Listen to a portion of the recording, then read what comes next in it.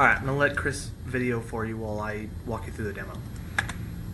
All right, started up the Robotic Labyrinth game, and you see there's two systems messages here.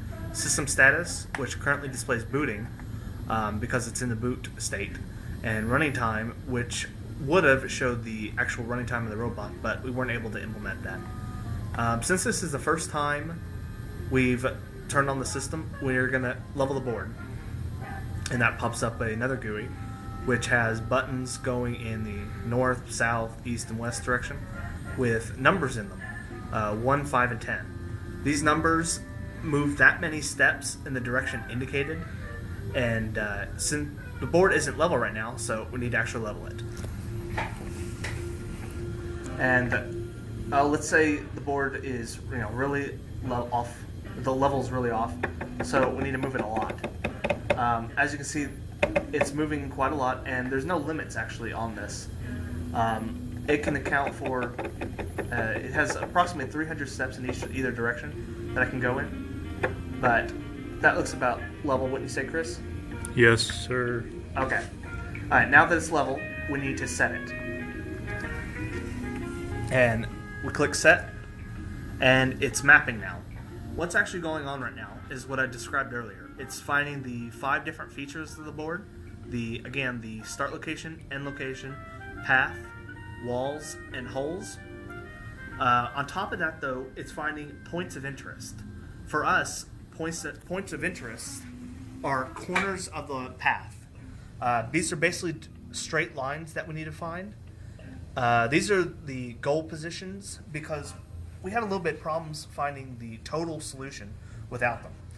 And after it finds those all the different points, they're not ordered.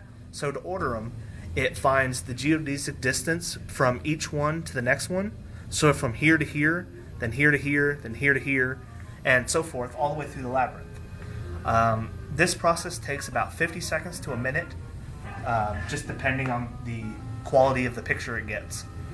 And uh, after that's done, it'll give us another prompt and we'll move forward. But for now, it, let it finish mapping and finding the points. Okay, popped up the message, place the ball on the board. So that's what we need to do. Here you go, Chris.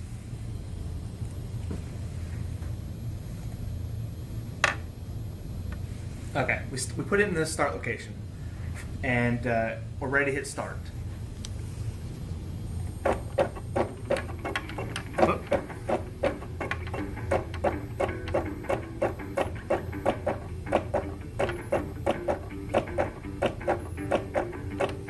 There's a little problem in that section of the board. Um, the board is not perfect, and there's little like holes basically. And as you can see, it just fell in the hole. Um, part of that problem is we have to go from tracking to finding the path and then finally send the motors in roughly 0.15 seconds. Um, but through you know testing, found that just getting the picture from the camera takes approximately 0.1 seconds.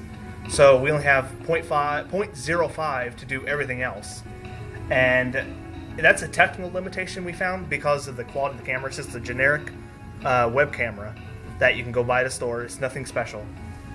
But we figured out a solution to that. We went to a store, got googly eyes, which we spray painted black, golf tees, which we cut off the base, and we just put them in the hole like that, and the ball can't fall in the hole anymore. Um, it's a problem that we, again, we weren't able to solve just because of the hardware. Uh, we're going to put those in, and we'll come back with them all in, and we'll show you it running with them in. Okay, so now we're going to go ahead and demo um, the solving process with our bumpers here in the hole so that our ball cannot fall in. Uh, one thing I would like to note before we start is that there are a few mechanical issues that we ran into when trying to uh, solve this labyrinth. The first issue is that the actual board itself uh, is not completely flat. It has a lot of bumps and uh, divots along the way that make it really hard to predict how the ball is going to move. For example, we can place the ball here and it will stay still, Um, however, if we move it over here where there's a divot, you probably can't see it on the camera, but if we try to place it, it will roll down back into the start location, and it keeps doing this every time. So there are a few problem areas um, when we try to solve, such as the start location, um, here at hole 6, sometimes down here at 13, uh, and then 35 and around here and around 42. Uh, these are problems that we notice, uh, or areas that we notice the ball tends to get stuck in. So we might use this golf tee to uh, aid it along the way so that it doesn't take too long to solve. Um,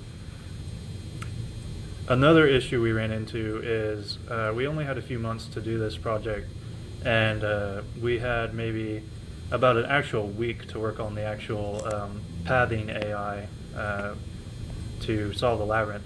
So the robot itself is not very smart simply because we did not get a good amount of time to work on the actual AI portion of the project. Uh, but anyway, without further ado, we will go ahead and um, place the ball in the start location where it is and start it.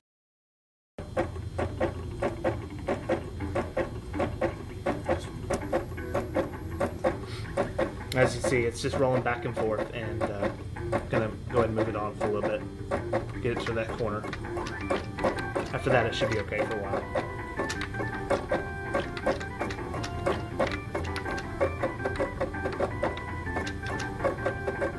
See, it's just going back and forth.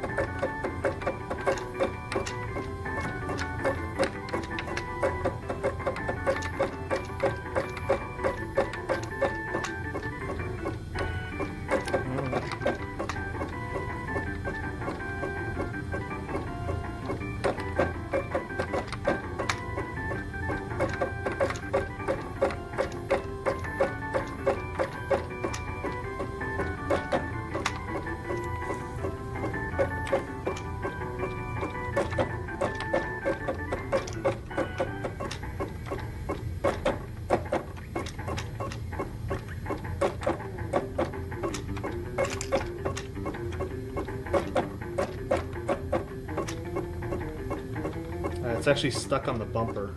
That happens occasionally.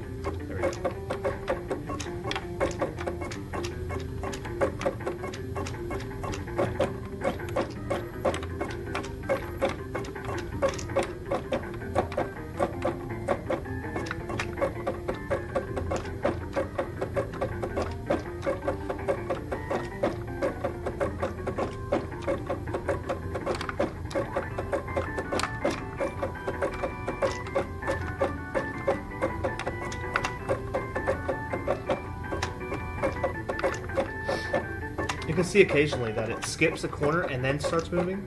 That's that problem I was talking about before, where you have 0.15 seconds. Um, it's right now it's taking about 0.13, which is a little slow, and that's what's causing a lot of the problems actually.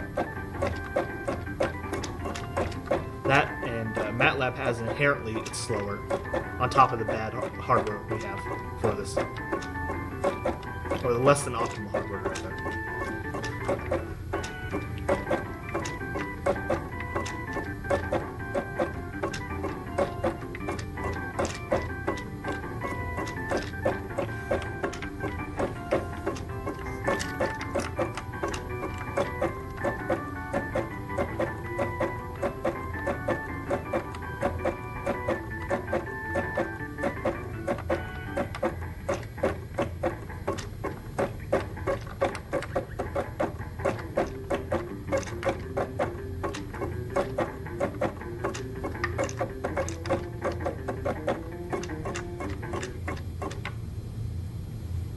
As you can see, it solved it.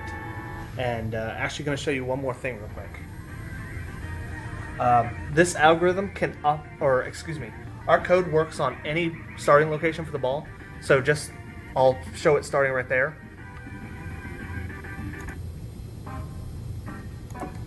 Okay, leveled it out, starting again.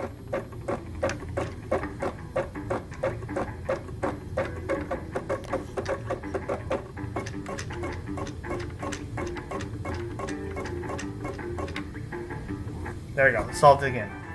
Um, yeah, it doesn't matter where it starts. We just ran into a lot of technical problems that we couldn't solve.